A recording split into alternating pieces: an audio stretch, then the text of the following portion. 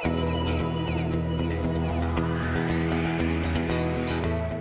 ROS developers, welcome to the ROS in 5 minutes video series by The Construct, your channel for anything ROS. I'm Bayode Aderinola and in this video we are going to see the different ways to launch a, a node in ROS and for this we'll be using the ROS Development Studio, a powerful online tool for pushing your ROS learning in a practical way. You will find the link to the studio in the video description. So let's get started.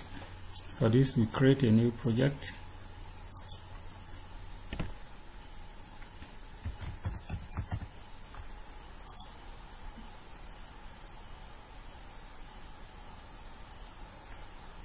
so we open up the project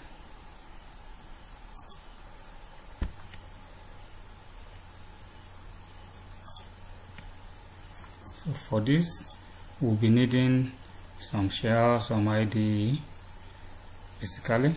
So we're going to create them. So yeah the, so the very first thing we are going to do is to run the ROS core.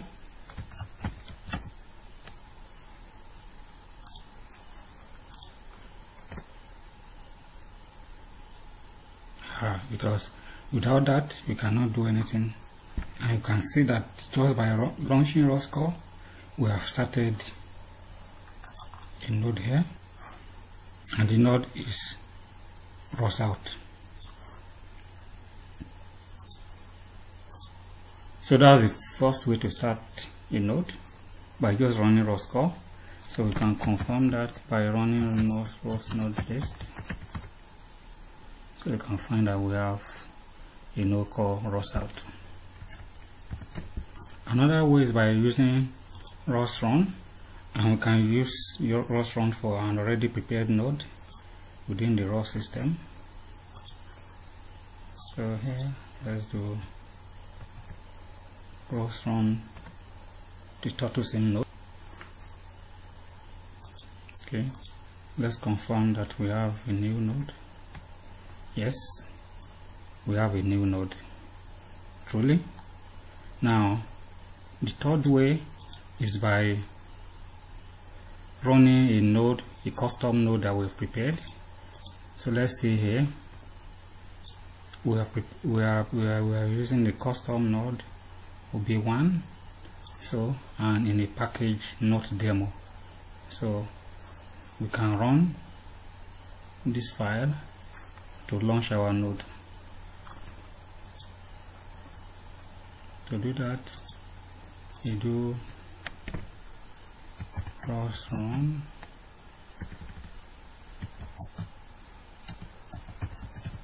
node ah let me ob1 let's hope that ob1 is nice. So now on our own let's see if you have a new node. Yes we have a new node here called ob1 so finally there's a way to run several nodes at the same time. Previously we've been running just producing one node. So we are going to use the example of the OpenNI launch here. So and we are going to run this command which is a ROS, ROS launch command. It will launch several nodes at the same time let's see if we have more nodes